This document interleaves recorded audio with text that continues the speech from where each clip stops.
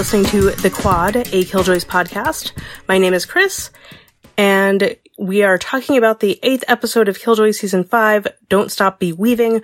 While we will talk about anything and everything from that episode, there won't be any spoilers for future episodes. And we're doing something a little different this week. Our schedules just would not line up this week, so basically we're just giving our quick reviews, and that's gonna be it. We wanted to release something still. We're so close to the end, and it's very sad, but also exciting. But yeah, schedules just weren't working out, so here, have some quick reviews. Hey y'all, it's Stephanie. So I feel like I have mixed feelings about this week's episode. It definitely did not have the same oomph to it as the past several have had for me. And I feel like it's one of those episodes where I kind of need to see what's going to happen next before I fully decide on it. But as it is, I don't know that I feel like this was the best use of one of the last few remaining episodes of the series. As much as I loved Zeph and I love seeing Zeph and Dutch bond, I don't know that seeing having her go back to where she grew up. I don't know that that necessarily taught me anything new about Zeph that I didn't really know before. And it felt a little bit like a retread of things we have seen before on Killjoys. So, I mean, it was fine. I didn't really have anything against it, but I didn't, it didn't exactly grab me the way that previous storylines have had, have this season. I, I didn't mind the capture the flag storyline on the ship, though I kind of wish this is one episode where I, I really wish there had been a little bit more forward momentum uh, in, in regards to the larger plot that we do have, you know, Johnny and, and D'avin training the prisoners to be part of their army with the capture the flag thing. And you have kind of the parallels, I think, between the psychiatrist and Zephyr's original community with maybe having feel, people feeling like they have noble intentions, but really poorly treating, or in the psychiatrist cases, picking off people who, who they feel like do not fit the mold of what a good society should look like. You also had a really strong theme of like the double-edged sword of family in this episode, which I will say that all three of the storylines, including Klein, really hit on well. This idea that found family can be a real strength, uh, but other people who we can consider family, who might be blood family or found family, can really be a, a weakness that people can use against you, or they can manipulate you in such a way.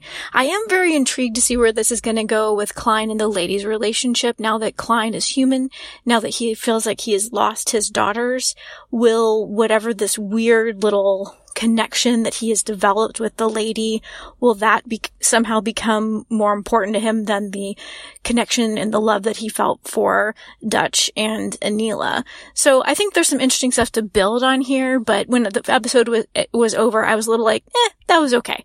So, but something I absolutely loved, love, love, love, besides again, Rachael Ancheril, in her vest and shirt and looking oh so amazing was the Jacoby brothers stuff, their brotherly relationship, especially that closing scene.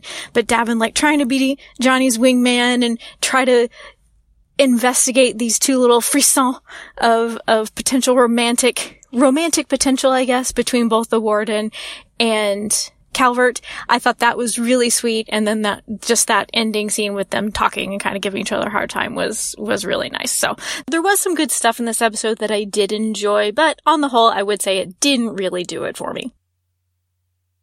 Hey, this is Annie, and these are my thoughts on Killjoys Season 5, Episode 8, Don't Stop Beweaving. And now I'll never get Journey out of my head.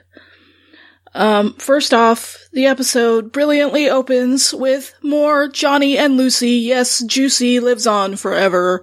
I love how in sci-fi no one ever dies, and this includes awesome AI ships. So, so happy to see Johnny jauntily skipping down Lucy's corridors in his Captain Apex pajamas. I read that production made those especially for Aaron Ashmore. So, Please, please, as much Lucy as we can get in the remaining two episodes. That would be awesome. One thing I really like about Killjoys is how it takes time to develop all the supporting characters' backstories, so I really enjoyed seeing Zeph's backstory this week. um, and seeing about her culty origins. Although it was interesting how the cult leader said she was going to give Zeph, uh, she eventually wanted her to take charge, which I guess proves that the smart ones always win. But, um, I really liked that moment between Zeph and Dutch at the ending when Zeph referred to Dutch as her older sister and then asked Dutch about Aneela, and you get the feeling that uh, Dutch has come a long way in thinking of, of Aneela as her sister. So I like that bit.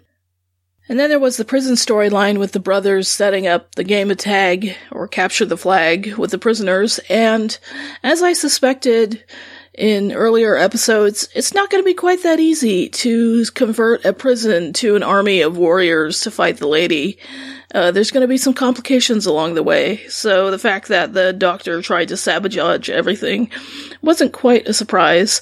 I am still happy to see Warden Rennica though and uh, because hmm, hot Warden Rennica outfits just can't get enough of them. And it was interesting to see Klein's relationship with the lady develop in this episode. Is he really thinking of her as a daughter figure now that he thinks that Dutch is gone? I don't know. It'll be interesting to see where this goes. But all in all, pretty good setup to the last two episodes. Only two episodes left. And, uh, yeah, can't wait to see what happens. Thanks. And as a surprise to no one, I also really enjoyed this episode. I, I do agree with Stephanie that it felt perhaps less necessary to have Zeph's background episode, but at the same time, it's kind of nice because, you know, Zeph is part of the team. She's one of the core members of the team now, and we haven't really gotten an episode about her family and her upbringing and her backstory. So it's just, it's nice to do it and to tie it into the fact that she is part of the team with, you know, the sisterly relationship with Dutch. And it's just, it was nice and, you know, hanging out in the, the Rambler and drinking as the Killjoys often do. It was just, it was really sweet. And I also enjoyed D'avin wingmanning for Johnny very poorly, but still, he tried.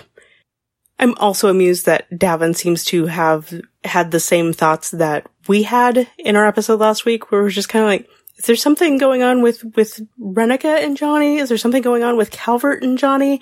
Maybe. And, you know, D'avin just eh, making it awkward all around. I love him so much.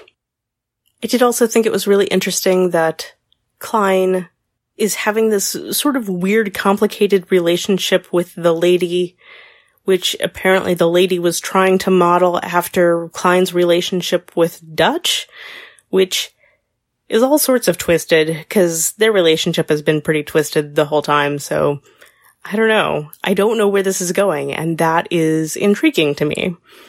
Is it that Klein is accepting the lady's offer of a familial relationship in the vein of what he had that he seems to think he'd lost with Dutch and Aneela? Or is it Klein doing his usual Klein thing and playing the long game and is this also part of the whole thing with Turin saying, you know, get close and then I forget exactly what Turin said, but you know. I also enjoyed that scene, by the way.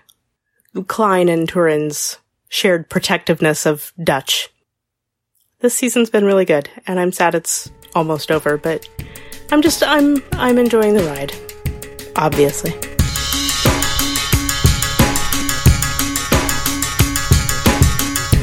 We'd love to hear your thoughts about this episode of Killjoys. You can send them to killjoys at askgenretv.com. We love getting voice messages, which you can send us in a couple of ways. Record a voice memo on your smartphone and email it to us, or call our listener voicemail line at 972-514-7223. Follow us on Twitter or Tumblr at Killjoys Podcast. The Quad is part of the Ask Genre TV family of podcasts. To find our other podcasts about Lost Girl, Orphan Black, and other shows, visit our website, askgenretv.com. Thanks for listening. We'll see you in the Quad.